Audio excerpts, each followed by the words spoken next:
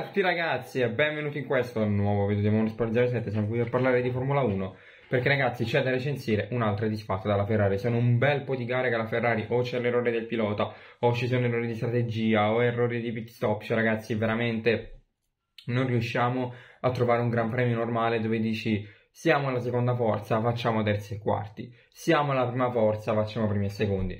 Leclerc che torna al podio, beh ragazzi, eh, Leclerc ha fatto due podi nelle ultime 11 gare, quindi vedete voi se un pilota del genere può essere in lotta al titolo o meno. Non parlo di Leclerc perché le nove gare dove non è andato a podio non sono praticamente colpa sua, nessuna delle nove ragazzi. Cioè nessuna delle nove io dico Leclerc è stata la quarta forza in pista.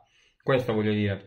Perché in Canada sì ha fatto quinto, non gli è successo nulla eh, ma non gli succede nulla quando parte dietro, perché quando è primo gli succede di tutto. Quando deve rimontare perché ne so una quarta, una quinta posizione, non gli succede un cazzo di niente, perché io preferisco perdere punti come è successo a Imola, che da eh, terzo diventi sesto, perdi quanto? 8 punti, 7 punti, finisce lì. Già da primo a quarto cambiano 12 punti, capite cosa voglio dire? 13 punti, capite cosa voglio dire ragazzi? 14 poi se ti fregano anche il giro veloce. Però insomma, eh, questo è ragazzi, altra disfatta Ferrari. This is my quest, I'ma make it known. They call me obsessive, oh I know. Call me selective with... La situazione sta diventando veramente imbarazzante. Cioè ragazzi, anche Nico Rosberg ha usato veramente parole durissime verso Binotto Dicendo che deve cambiare tutto il team, la Ferrari, che non sono capaci ma perché ragazzi ti scordi una posteriore sinistra, non riesci a fare un doppio pit stop quando la Mercedes lo fa, lascia stare che poi Rueda si è è andato nel box Mercedes per fare la strategia Hamilton. Ma il doppio pit stop l'hanno fatto, ciò che non aveva avuto il coraggio di fare la Ferrari in Gran Bretagna.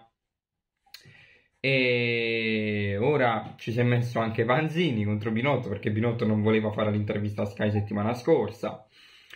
Il fatto che richiamano Leclerc al box con il meccanico della posteriore sinistra che sta nella, nel posto dell'anteriore destra, come cazzo fai a confondere una gomma più grande con una più piccola? Non l'ho capito, perché per chi non lo sapesse, le gomme posteriori in Formula 1 sono molto più grandi di quelle anteriori. Voi direte perché c'è una spiegazione ingegneristica dietro, andatevi a vedere un video di chi è più bravo di me a parlare di queste cose. Io studierò ingegneria a partire da ottobre, quindi per il momento non voglio darvi molte spiegazioni, anche perché vi annoierei comunque il perché lo so.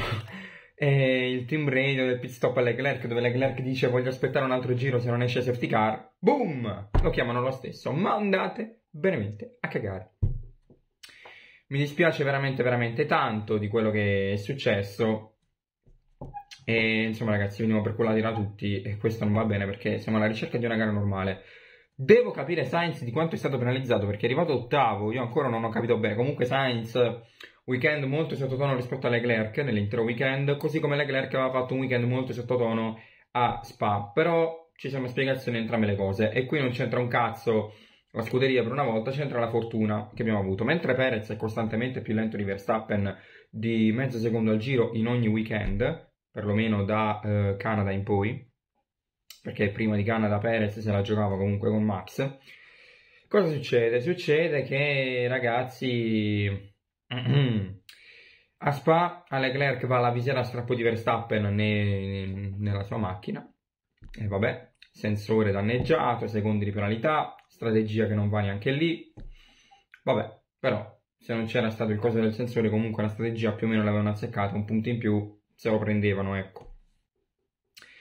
E insomma, poi, ehm, quindi diciamo che la gara di Leclerc è stata destabilizzata dal fatto, che ha fatto un, dal fatto di, aver, di essersi fermato una volta in più e quindi già lì sono 20 secondi che perdi da, da Sainz più questo fatto di, del, della visera strappo di Verstappen. Mentre qui in Olanda eh, ha avuto il fondo danneggiato per tutta la gara Sainz al seguito del contatto con Lewis Hamilton al via. Lewis Hamilton ha sul cazzo Verstappen ma toglie punti solamente alle Ferrari.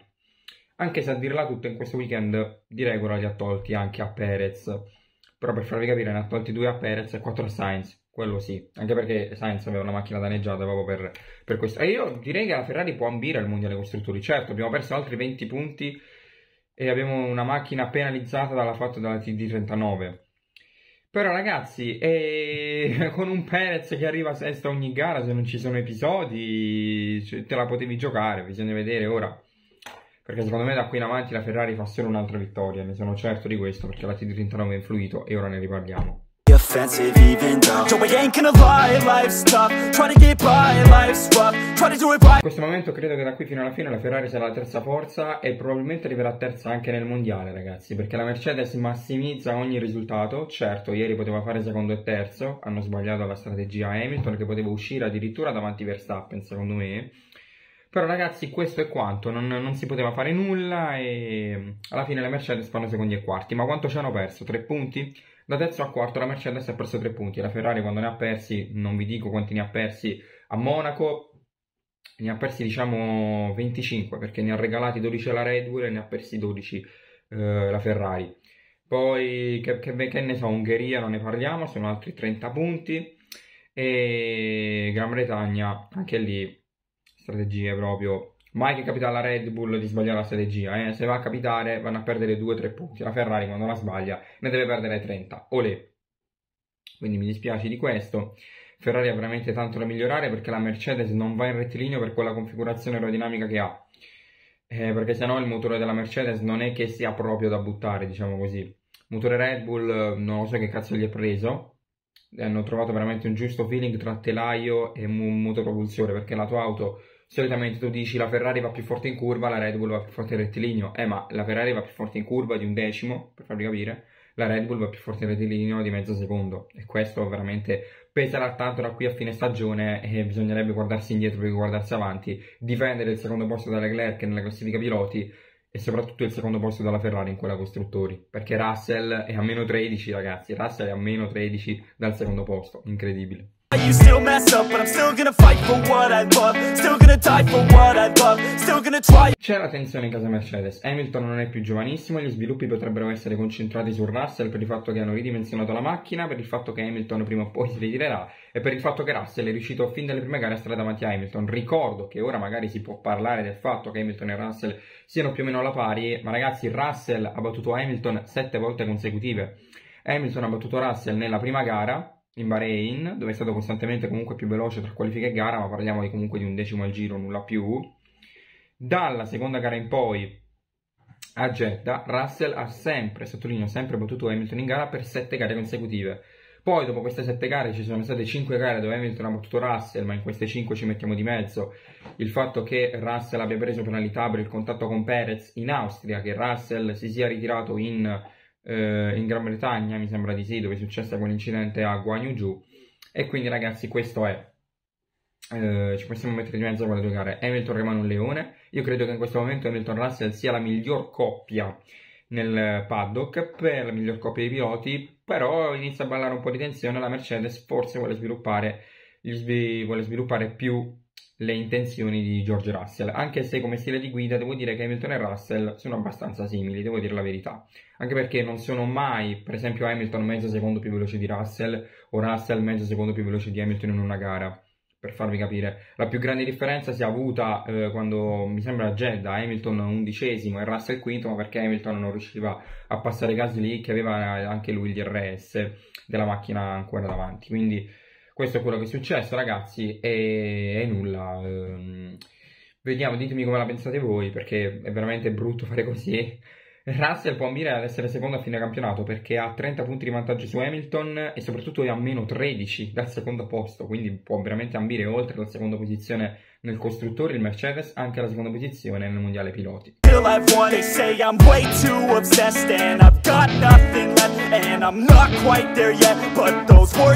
Come faccio sempre vado anche a parlare un po' del centrogruppo ragazzi, allora io direi che Alonso, Ocon e Norris stanno monopolizzando il fatto di essere sempre costantemente primi degli altri, è veramente raro vedere qualcuno arrivare davanti a questi tre.